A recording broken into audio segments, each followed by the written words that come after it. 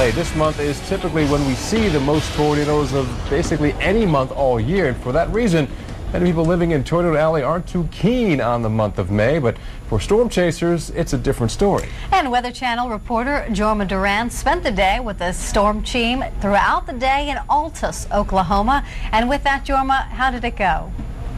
Uh, it went pretty well, and you're right. Earlier today, we caught up with the storm chasing crew from KOCO Television in Oklahoma City, Oklahoma, to kind of get a sense of what it would be like. And what we found out was, despite heading into an area where severe weather is supposed to be in, you still need a little luck.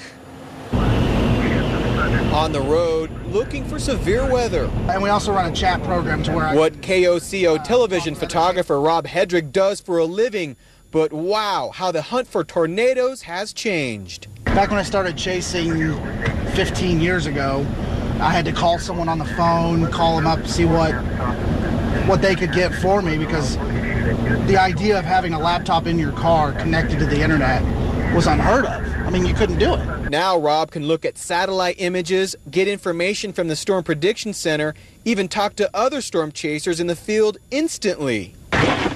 The camera comes out when clouds seem a bit unstable or wicked, but Rob says for the most part, for every day of capturing severe weather, you get five days of chasing nothing at all. It's probably more likely that you're going to go out and see a, a good sunset or a cloudy day and get nothing than the possibility of seeing tornadoes. Which seems to be the case this afternoon. Altus, Oklahoma wasn't as bad as first predicted. They just dropped the moderate risk, which, you know, is a little bit of a disappointment. It's good for the people, bad for the storm chasers.